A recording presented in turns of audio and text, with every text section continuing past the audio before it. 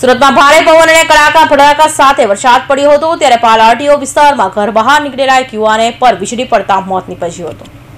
સુરતમાં બુધવારે પડેલા ભારે વરસાદને લઈ વીજળી પડવાની ઘટના બની હતી, ત્યારે સુરતના પાલાટીઓ પાસે રહેતો મૂળ યુપીનો પાંત્રીસ વર્ષીય યુવાન ઘર બહાર નીકળતા જો તેના પર વીજળી પડી હતી, જેથી તેને તત્કાલીન સારવાર માટે નવી સિવિલ હોસ્પિટલ ખાતે ખસેડાયો હતો.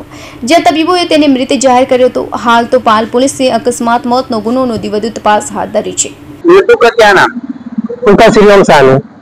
कहाँ के रहने वाला हो। कितने साल का है इसी कराने वाला हूँ मैं वो भाई कहाँ के रहने वाला हो? कितने साल का है? वो वो यूपी का रहने वाला है उसका उम्र चौथ लगभग चौतीस पैंतीस साल का है। क्या हुआ कल उसके कल इतना बारिश था हम लोग झाले में बैठा था और बारिश में वो पाँव धो रहा था वो पत्र कल पत्र से पानी गिरा था पाँव धो रहा था।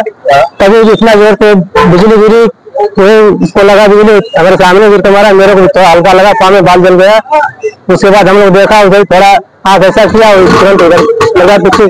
कितने बजे ये घटना है? वही लगभग साढ़े तीन बजे। साढ़े तीन बजे तक। उसके बाद हम लोग उधर से बाजू मंदिर हम लोग मंदिर पे लाया एंबुलेंस को एंबुलेंस को फ़ोन किया एंबुलेंस आया उसके बाद डायरेक्ट हम लोग इधर लेकर आए। यहाँ आने के बाद क्या बोला डॉक्टर डॉक्टर उसको चेक किया बोला कि इसके इसका मृत्यु हो गया हो गया है। क्या काम करते था वहाँ? सिक्योरिटी का काम करने आया था हम लोग। अभी काम सत्रह अठारह लोग बैठा था अभी काम नहीं किए थे। अभी काम ही चालू नहीं था हम लोग का। कौन कौन इसके घर में? इसके घर में इसकी दो लड़की है एक लड़का है इसकी बीवी है।